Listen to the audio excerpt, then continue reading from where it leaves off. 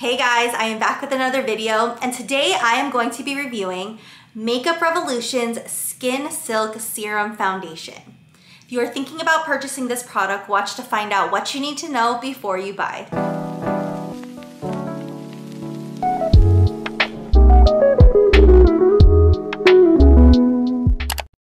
Purchased this at Ulta and it cost $14. It comes in 20 different shades. I purchased the shade F8 and the way I found this shade was from Ulta's Find Your Shade.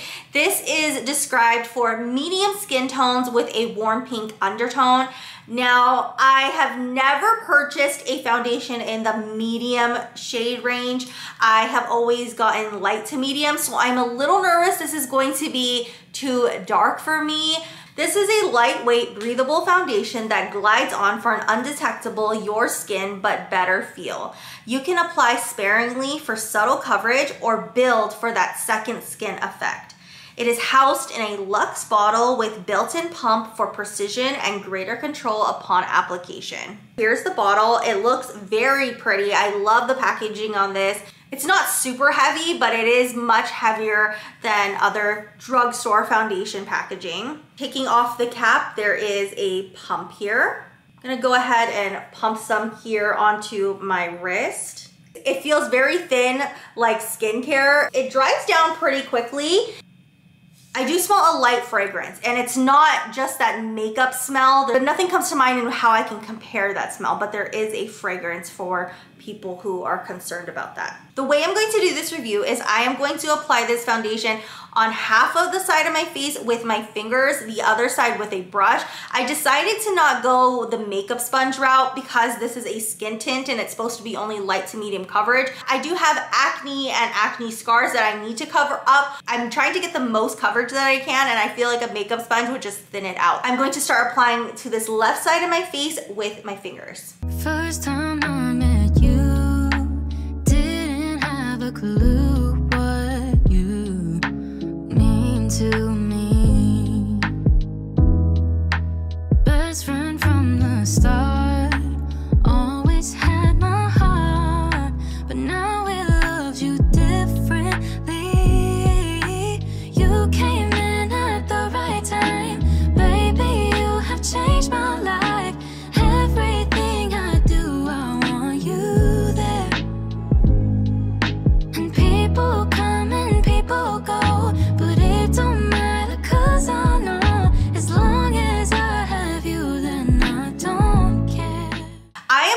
apply some makeup and then I will come back on and let you guys know what my initial thoughts on this foundation are. I put on the rest of my makeup. The only makeup I'm wearing is my brows are done. I have mascara on, lip product, and then I did put some Honest Beauty cream blush on my cheeks and that is it. I have no powder and nothing else on my face besides that cream blush. I'm actually pleasantly surprised about this foundation. I didn't think I was going to like a lighter coverage foundation, but I actually do. It covered enough where it looks like I have some makeup on and even out my skin tone, but not making it look like I have a ton of foundation on. It's really skin-like. The shade is too dark for my skin, but because it is such a lighter coverage, it actually looks okay. It is very lightweight. It doesn't feel cakey. It is on the dewier side. So I'm hoping it doesn't get crazy oily by the end of the day. I'm hoping that because it's a much more lighter coverage,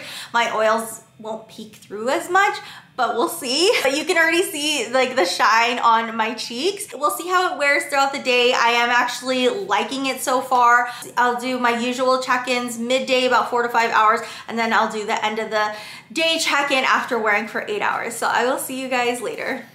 I am oily in my usual spots in the T-zone area, but it's not that bad. I'm not as oily as I thought I would be because it already started off pretty dewy. I feel there's still okay coverage. My skin still looks evened out. I'm going to wear this for at least three more hours and then I will give you guys my final thoughts.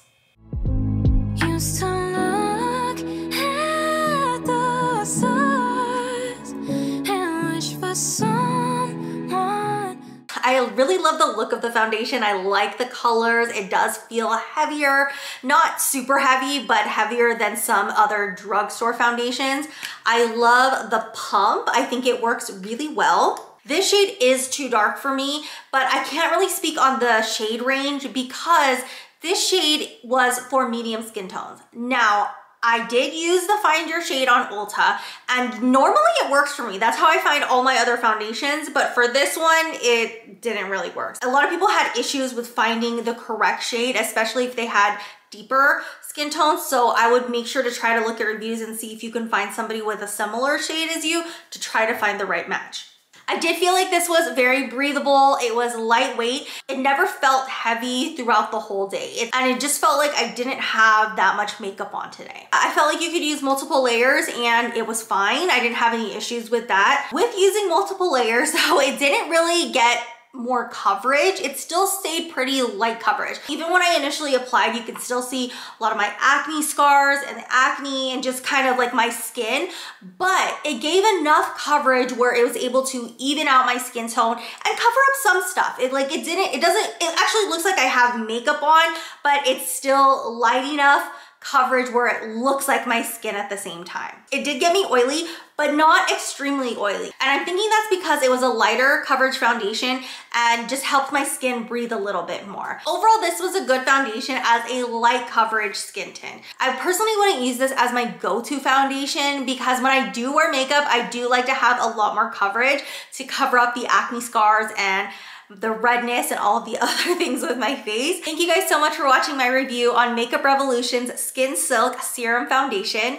If you want to follow me on all of my other social media, I'm at Jenn Reviews on Facebook and on Instagram, and I'm at Jenn Reviews underscore on TikTok. If you're looking for a certain product that I've reviewed, I do separate my playlist by brand, so all you have to do is click on that brand and you can see all of the products that I reviewed from them. Thanks again for watching, and I will see you guys next week. Bye. Do you think about what you're running from?